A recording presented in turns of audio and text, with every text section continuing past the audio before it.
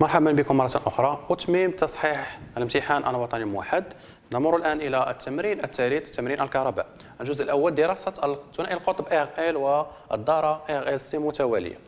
آه، أولا دراسة ثنائي القطب L. نمر إلى محتوى التمرين.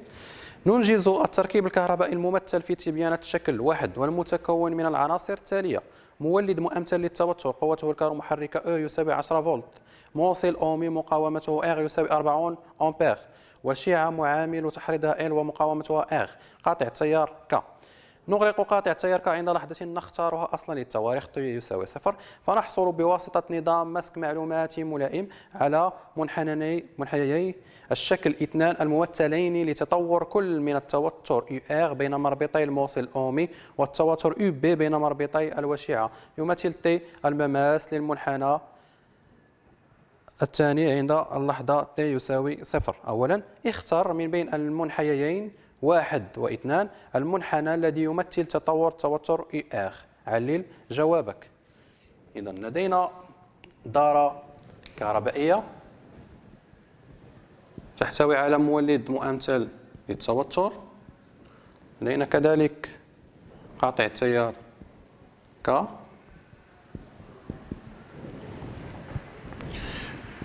وشيعة معاملة حدا ال ومقاومته الداخلية ار ثم موصل أومي.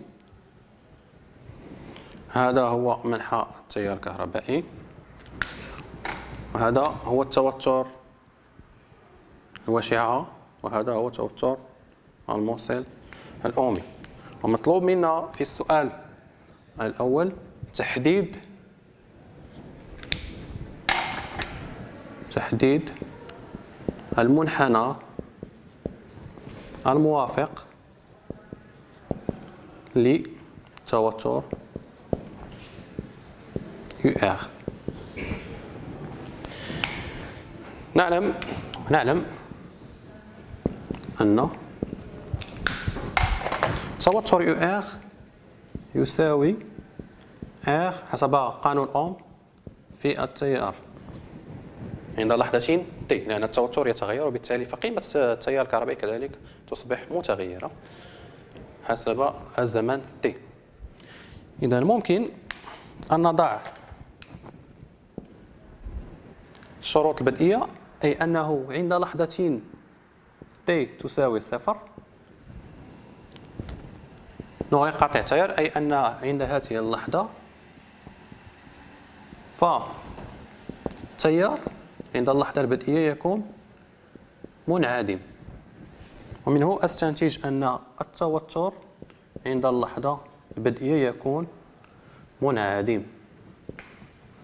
ومن خلال هذا الشرط سأبحث في الشكل عن المنحنى الذي يوافق هذا الشرط أي التوتر عند الحالة البدئية يساوي صفر. نمر الآن إلى الشكل الثاني. من خلال الشكل الثاني لدينا لدينا المنحنى رقم اثنان هو الذي يتوفر في هذا الشرط أي أن عند اللحظة t تساوي صفر فالتوتر يساوي صفر. إذا المنحنى الثاني هو الموافق ل UR de T. أمر الآن إلى السؤال الثاني.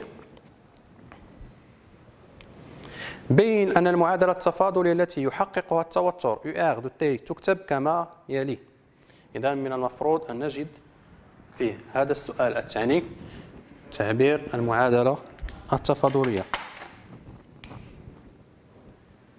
لنتحقق أن ونكتب تعبير المعادلة الذي يجب أن نصل إليه.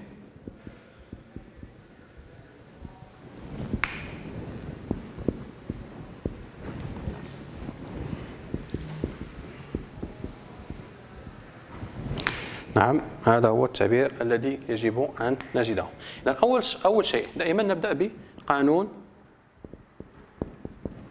إضافيات توترات لدينا يو آر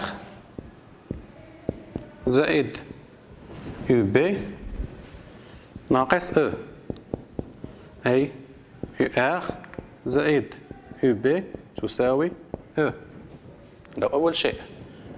أحتفظ بالتوتر يو آر وأكتب تعبير يو بي.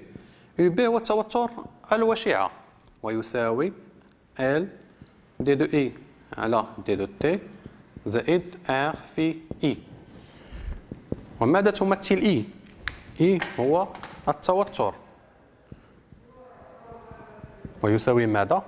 يساوي التوتر UR مقسوم على على R. اذا يجب أن أجد مشتقة هذا شدة التيار. مشتقة بالنسبة للزمان تساوي ماذا؟ لدينا R ثابتة لتبقى فقط مشتقة التوتر الموصل الأومي إذا سوف الآن سأقوم بالتعويض في التعبير في هذا التعبير. لأجد UB تساوي L مضروب في مشتق التيار أي L على R في d UR على d de t زائد R وأعوض كذلك I بقيمتها أي تصبح مضروبة في توتر UR ومقسومة على R إذا سوف أعوض هذا التعبير في قانون إضافية التوترات. لأجد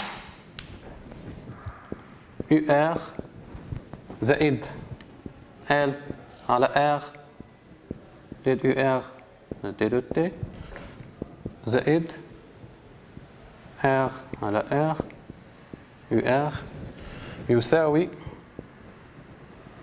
E إذا لكي أصل إلى هذا التعبير يجب أن أضرب الطرفين في R وأقسم على L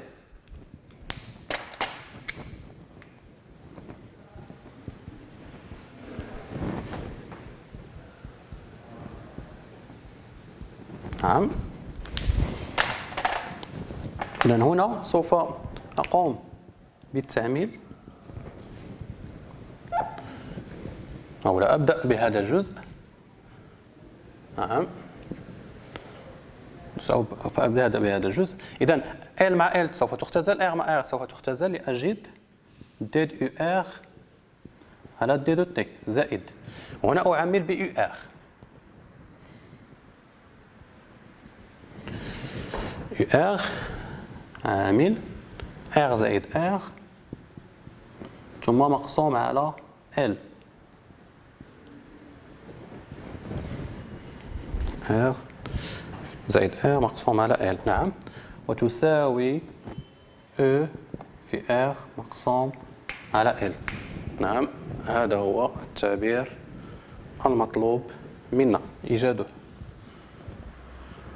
هذا هو التعبير أمر الآن إلى السؤال الثالث. يستنتج أن تعبير التوتر بين مربطي الموصل الأمي في نظام دائم يكتب على الشكل. UR تساوي RE مقسوم على R زائد R. ثالثا عند النظام الدائم نبين أن توتر UR يساوي RE مقسوم R زائد R إذا عند النظام الدائم أي. عند لحظة tp l'instant permanent النظام الدائم عند هذا النظام إذا سوف أمر إلى آه، المنحنى الشكل اثنان. عند إقامة النظام الدائم فالمنحنى الثاني الذي يوافق التوتر UR يصبح ثابتا. وعندما نقول ثابتا يعني مشتقته سوف تصبح تساوي اثنان. نلاحظ أنه عند النظام الدائم فالتوتر يصبح ثابتا. إذا عند هذا النظام فالتوتر يصبح ثابتا وبالتالي مشتقتها تصبح تساوي صفر. سوف أعوض في المعادلة التفاضلية. إذا المشتقة تساوي صفر. إذا يبقى فقط هذا التعبير. إذا أكتب R مقسوم على L تساوي E R مقسوم على L تم حذف هذا الجزء الذي يساوي صفر. اذا سوف أختزل بمعامل تحريض L لأجد نجد مباشرة UR تساوي E في R مقسوم على R زائد R أمر الآن إلى السؤال الرابع. السؤال الرابع يقول آه، أحسب قيمة R لنحسب قيمة R إذا لحساب هذه القيمة R سوف أستعمل هذا التعبير. إذا R تساوي E. في R مقسوم على التوتر عند النظام الدائم. ماذا يساوي R؟ يساوي E في R مقسوم على التوتر في هذا في عند هذه اللحظة. أي نظام دائم؟ ناقص R كبيرة. تطبيق عددي تساوي أ يساوي عشرة R تساوي أربعون مقسوم. توتر. إذا ماذا يساوي التوتر عند النظام الدائم؟ توتر عند النظام الدائم. سوف نستعمل الشكل اثنان. الشكل اثنان. آه، المنحنى الثاني الذي يوافق توتر UR اذا عند إقامة النظام الدائم ف التوتر يساوي 8 فولت. نكتب 8 فولت. أعوض هنا ب 8 ناقص 40 لنجد قيمة R تساوي 10 أمبير. أمر الآن إلى السؤال الخامس. حدد مبيانيا قيمة ثابتة التوازن. طو. الثابتة مبيانيا نعم مبيانيا سوف نجد هذه القيمة. أمر الآن إلى الشكل الثاني. فإسقاط أو تقاطع المماس تي مع المقارب الأفقي للمنحنى الثاني يعطينا قيمة. وتلك القيمة سوف نقوم بإسقاطها على محور الأفاصيل أي محور الزمن. لنجد طو تساوي 0.01 إذا قيمة طو ثابتة الزمن تساوي 0.01 ثانية. أمر الآن إلى السؤال السادس. تحقق أن معامل تحريض L يساوي 0.5 إنغي ولهذا الغرض سوف أكتب تعبير ثابتة الزمن. نعرف دائما تعبيرها. طو يساوي L على R زائد R لا ننسى لدينا. من هنا استنتج L تساوي طو في R زائد R تطبيق عددي اجد طو تساوي أو عفوا ال تساوي طو أي صفر صلة صفر واحد. اخ تساوي أربعون زائد اخ صغيرة عشرة أي خمسون في عشرة اس ناقص اثنان. لاجد قيمة ال تساوي معامل تحريض صفر صلة خمسة إن نعم هذا هو الجزء الأول. أمر الآن إلى الجزء الثاني من هذا التمرين والمتعلق بدراسة الدارة LC متوالية نشحن كليا مكثفا سعته C ثم نركبه على التوالي في لحظة نختارها أصلا للتواريخ مع الموصل الأومي والوشيعة السابقتين. يمثل منح... آه، يمثل منحنيا الشكل أربعة تطور كل من التوتر U C بين مربطي المكثف والشدة i de t للتيار المار في الدارة. أول سؤال أي نظام من أنظمة التذبذب يبرزه منحنيا؟ الشكل أربعة. ننتقل إلى الشكل أربعة. مطلوب منا أن نبرز أي من النظامين يبرز. دونك نلاحظ أنه من خلال التوتر المكثف فهو فالوسع يتناقص مع مرور الزمن وبالتالي فالنظام فهو نظام شبه دوري. لأن الوسع يتناقص مع مرور الزمن. إذا نكتب ثانيا. دراسة RLC متوالية. أول سؤال. النظام شبه دوري.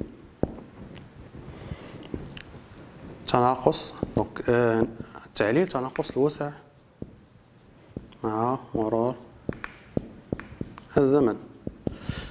بالإضافة إلى شيء آخر هو أنه لدينا في الدارة.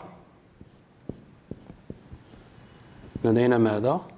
لدينا قيمة مقاومة كلية تخالف صفر فالمقاومة الكلية تخالف صفر وبالتالي هناك ضياع للطاقة وهذا ما يفسر تناقص الوسع لأن هناك ضياع ضياع للطاقة. نمر الآن إلى السؤال الثاني. السعة سي لي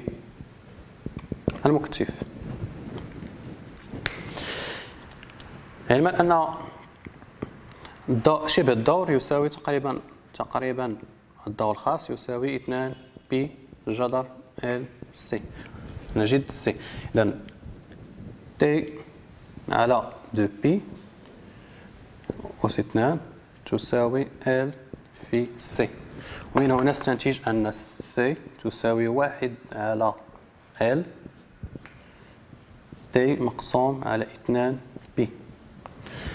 لدينا قيمة معامل التحريض ولكن نحتاج إلى قيمة شبه الدور ال آه، شبه الدور T ولهذا سوف أمر إلى الشكل أربعة. أجد القيمة. إذا من خلال الشكل أربعة آه، على اليمين آه، لدينا منحنى يبرز التوتر المكثف U C. منه ممكن أن نقول أن الدور يساوي 10 millisecondes. نعم 10 millisecondes. يساوي 10 millisecondes. سوف أعوض هذه القيمة هنا. تطبيق عددي. سي تساوي واحد فالقيمة كانت هي صفر إلى خمسة. مضروب في الدور عشرة في عشرة أس ناقص ثلاثة نحول. مقسوم. على اثنان بي أس اثنان. منه مباشرة سوف أكتب القيمة التي سوف أحصل عليها للسعة سي التي تكون دائما بالفرد. قيمة فهي تساوي خمسة في عشرة أس ناقص ستة خمسة في عشرة أس ناقص ستة أي تمثل؟ خمسة ميكرو فرد. نهاية هذا الجزء. الأول أنا سوف أنتقل إلى الجزء الأخير من تمرين الكهرباء. هو الجزء المتعلق بدراسة تضمين الوسع. للحصول على إشارة جيبية مضمنة الوسع مضمنة الوسع ننجز التركيب الممثل في تبيان الشكل الخمسة حيث يمثل دارة متكاملة منجزة للجداء تتوفر على مدخلين أو واحد و إي ومخرج إس.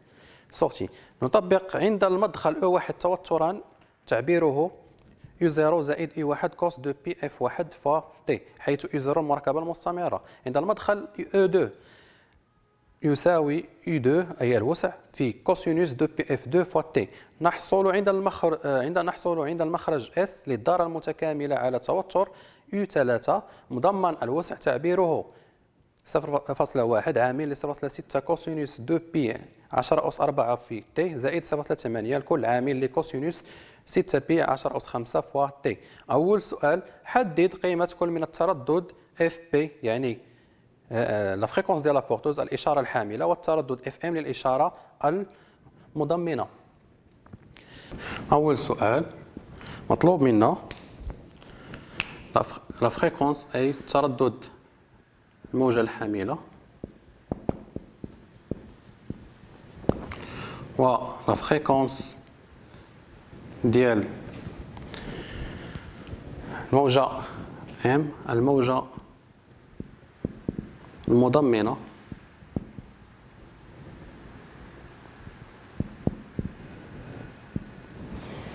ولهذا الغرض يجب أن نكتب أول شيء توتر واحد للموجة آه، المضمنة. يعني يساوي إي زيرو زائد إي واحد عامل ل 2 بي إف واحد تي. عفوا 2 بي إي واحد كوسينوس 2 بي إف واحد فوا تي. بالنسبة ل إي 2 لدينا واحد عند تي و اي دو تي تساوي الوسع اي جوج كوسينوس دو بي إف جوج فوا تي نعم هذا هو التعبير. ولدينا توتر الخروج. ثلاثة تساوي صفر واحد عامل لي صفر ستة cosinus deux pi عشرة أس أربعة fois t زائد صفر فاصلة ثمانية مضروب في كوسينوس ستة بي عشرة أس خمسة في تي ونحن سنقوم ب أول شيء توتر. الخروج. U S أول شيء نعلم أن توتر الخروج U S يساوي ماذا؟ يساوي المعامل K في توتر U واحد في توتر U اثنان. يساوي K في. U صفر زائد U واحد. cosinus deux pi F واحد fois t عامل لي U جوج cosinus deux pi F جوج fois t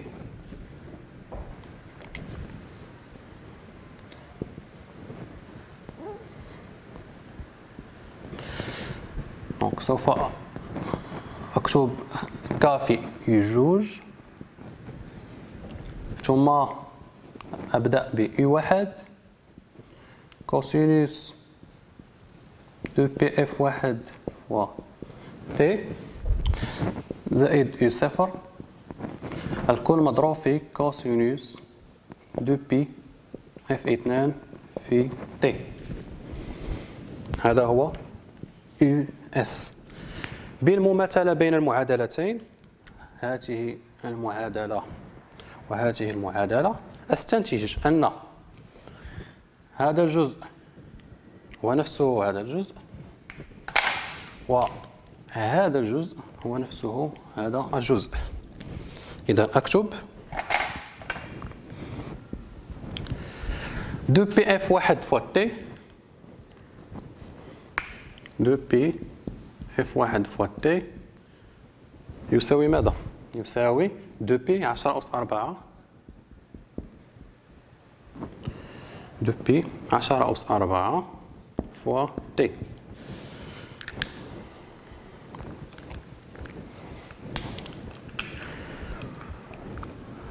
نختزل ب deux pi deux pi t t لأجد f واحد تساوي عشرة أس أربعة وماذا يمثل f واحد؟ دائما التردد الذي يكون في هذا الجزء فهو تردد الموجة أو عفوا توتر آه، تردد الإشارة المضمنة.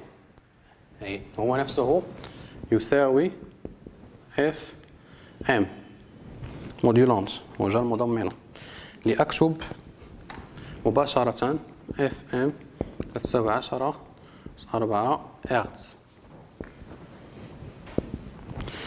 نمر الآن إلى الجزء الثاني. لدينا 2 pi f 2 fois t.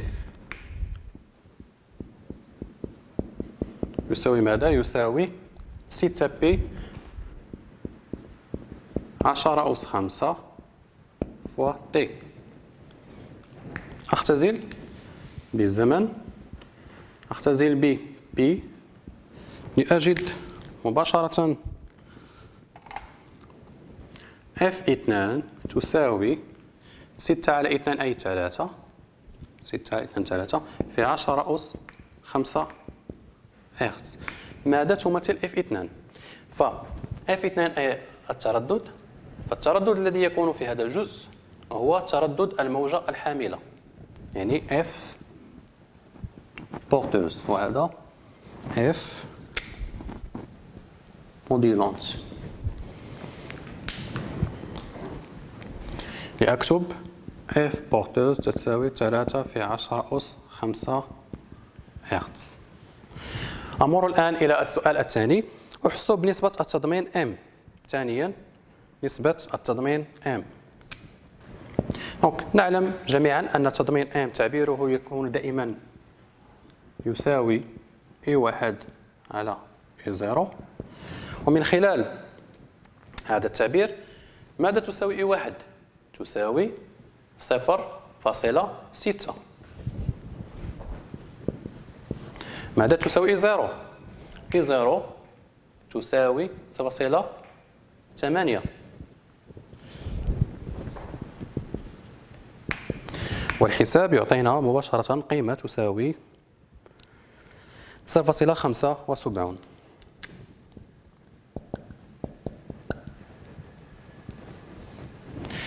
نمر الآن إلى آخر سؤال. السؤال الثالث. هل التضمين جيد؟ إذا لدينا السؤال الثالث. لدينا معامل تضمين أصغر من واحد. هذا أول شيء. ثاني شيء نلاحظ أن تردد الموجة الحاملة أكبر بعشر مرات من تردد الموجة المضمنة. إذا ومن هذين الشرطين ممكن أن نقول أن التضمين جيد. التضمين